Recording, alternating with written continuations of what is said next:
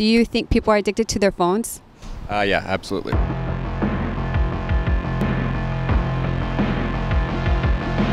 Why?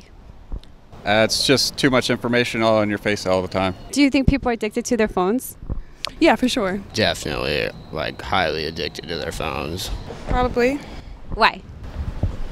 Because it's something to do. Yes, of course, they addicted, of course, yeah. Absolutely. I'm addicted to it because I want to feel wanted. Yes, they they always have them on there either daily there or sometimes people even feel off even even having their phones. Oh yeah, absolutely. People, like, literally, if they lose their phone, they lose their minds. Like, some people, like, freak out when they don't have their phones. Yes. Why?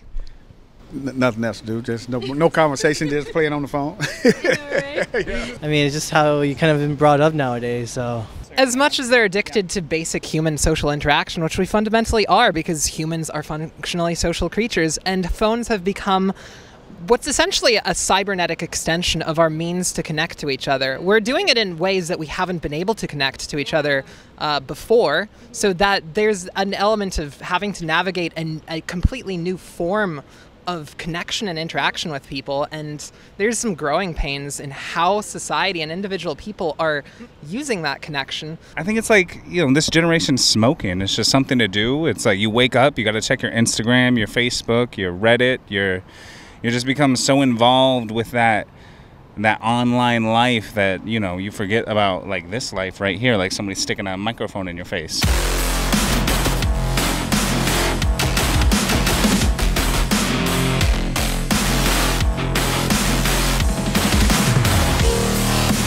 I definitely have a problem with my phone. You know, you like forget your phone, it's not in your pocket and you think it like goes off and it's not even there. Yeah, that's an issue.